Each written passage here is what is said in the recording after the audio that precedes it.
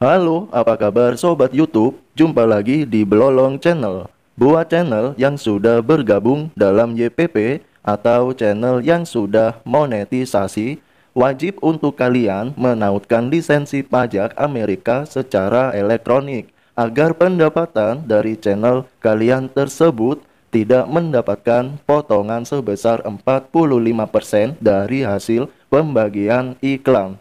Tetapi, bila kalian sudah menautkan lisensi pajak Amerika elektronik, maka potongan dari pembagian iklan tersebut akan lebih sedikit, yakni 11% yang dibagikan. Untuk itu, buat kalian yang kesulitan cara membuat pajak secara online atau NPWP, tanpa kita harus ke kantor pajak. Di sini saya akan berbagi cara buat pajak secara online dengan mudah menggunakan HP secara lengkap. Tapi sebelum kita ke video caranya, buat kalian yang stay jangan lupa mohon dukungannya seperti biasa, yakni dengan tekan tombol subscribe, like, aktifkan notifikasi loncengnya. Dan jangan lupa komentar di bawah video. Seperti biasa, kita menggunakan aplikasi Chrome untuk cara kita membuat pajak secara online-nya. Kalian ketik saja di penelusuran website erek.pajak.go.id.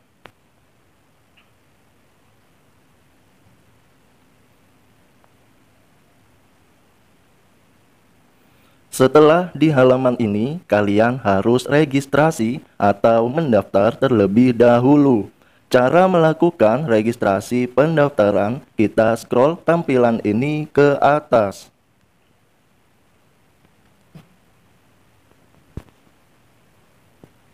Dan di bawah ini ada fitur daftar wajib pajak. Kita klik untuk mendaftar. Selanjutnya, kalian diminta untuk mengisi formulir pendaftaran akun langkah 1 dengan alamat email kalian atau akun. Oke, kalian isi saja dan juga menyalin kode CAPTCHA dengan benar.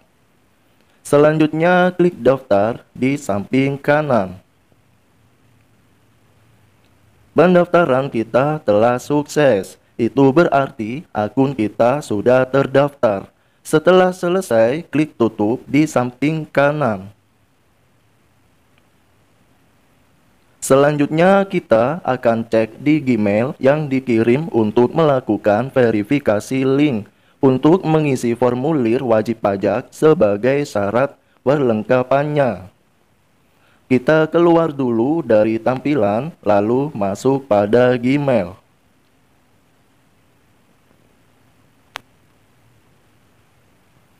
Klik pada pesan yang dikirim atau email aktivasi EREK. Kemudian kalian klik saja link verifikasi. Selanjutnya kalian mengisi formulir di pendaftaran akun langkah 2 yang meliputi antara lain dari nama, alamat, dan password, nomor telepon, pertanyaan, dan kecocokan kode CAPTCHA setelah semua sudah diisi, segera lakukan request OTP. Nanti kalian akan mendapatkan kode yang dikirim melalui pesan yang muncul di atas layar. Lalu salin kode tersebut pada kolom yang disediakan. Selanjutnya kita klik pada validasi OTP. Kita akan tunggu proses OTP telah berhasil dan nomor telepon valid. Setelah proses selesai, kita klik pada OK di samping kanan ini. Lalu lanjutkan, kalian klik pada daftar untuk melanjutkan ke langkah berikutnya. Dengan klik daftar, Google akan mengirimkan kita isi formulir melalui pesan di Gmail kita. Dan pada tampilan ini kalian klik tutup saja. Nah, setelah selesai akan muncul notifikasi seperti ini yang menyarankan untuk cek pada pesan Gmail yang dikirim. Sekarang kalian keluar dari tampilan lalu masuk pada Gmail kalian atau tutup layar belakang. Kalian klik Gmail. Klik buka pesan kedua yang dikirim pada email aktivasi akun. Klik pada link aktivasi.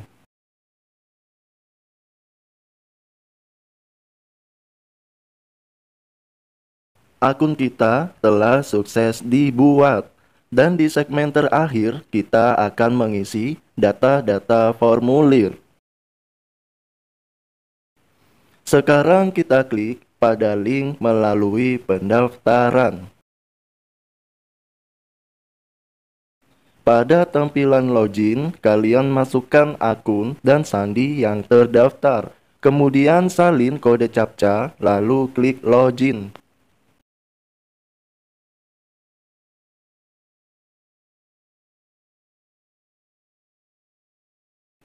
Kalian diperkenankan untuk mengisi beberapa langkah pada formulir registrasi data wajib pajak.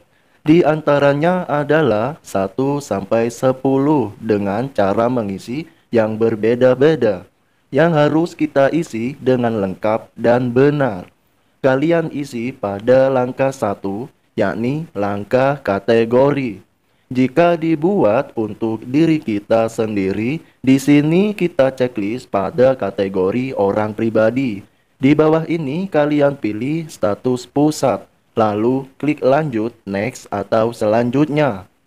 Lalu langkah kedua yakni mengisi identitas wajib pajak.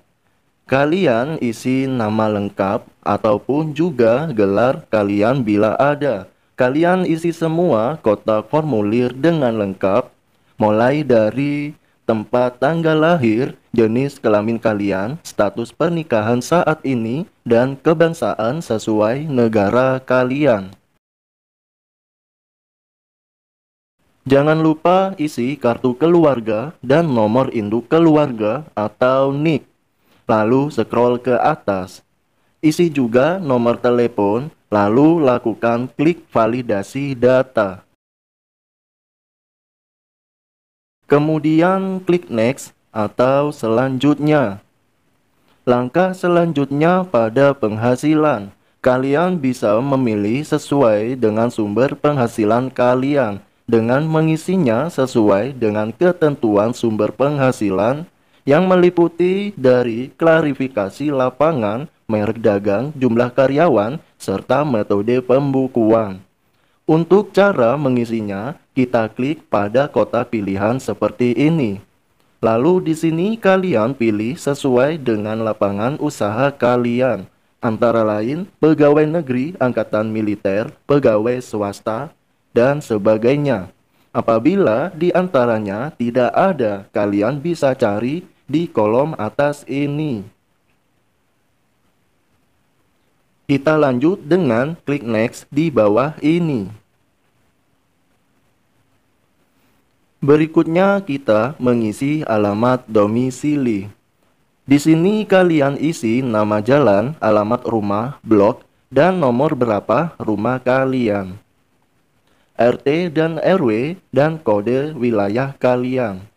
Nama kelurahan, kecamatan, dan nama kota nama provinsi, kode pos di setiap kota, dan isi nomor telepon yang aktif. Setelah selesai kalian mengisinya, kemudian klik next.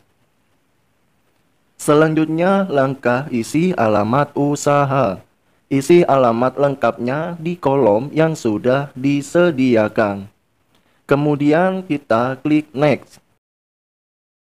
Langkah berikutnya isi info tambahan mengenai gaji kalian, yakni kisaran penghasilan kalian per bulannya.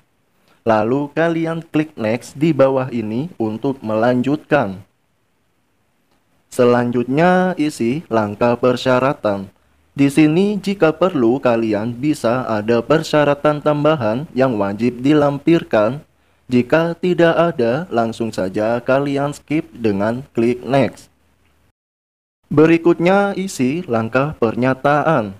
Kalian baca secara detail dan kalian checklist saja pada kolom kotak ini. Sesudah itu klik next. Untuk langkah yang terakhir berisikan tarif umum atau PPS. Kalian bisa memilih dan checklist ketentuan dua pilihan tersebut yakni Peraturan Undang-Undang Nomor 55 atau Undang-Undang Pajak Penghasilan. Setelah selesai, kalian klik pada simpan. Selanjutnya kita klik ya pada konfirmasi.